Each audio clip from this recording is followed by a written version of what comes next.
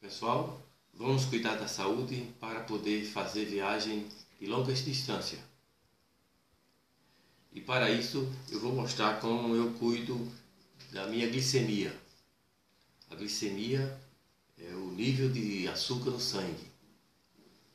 E para acompanhar é preciso um glicosímetro. É isso aqui que eu estou com ele. Ele é composto, ele vem com a caneta. Eu vou já inserir a lança que faz o furo para extrair o sangue. Vou deixar no nível 3 que é suave. Vou deixar engatilhada. Agora vou pegar a fita. A fita é aqui onde a gente vai inserir no aparelho e, e logo após colocar o sangue que for extraído do seu dedo. Tá vendo? Olha. Ele vai pedir agora a.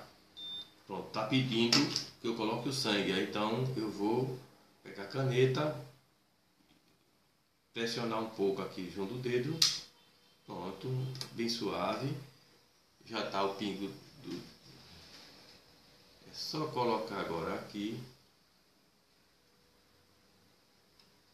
E vamos com 3 segundos ao resultado.